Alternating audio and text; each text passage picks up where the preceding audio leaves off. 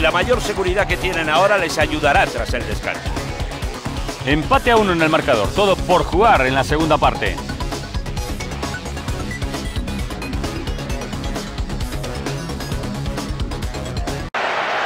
Han conseguido empatar.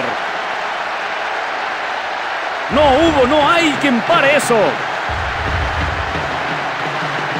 Bueno, ahora este partido puede abrirse. Creo que...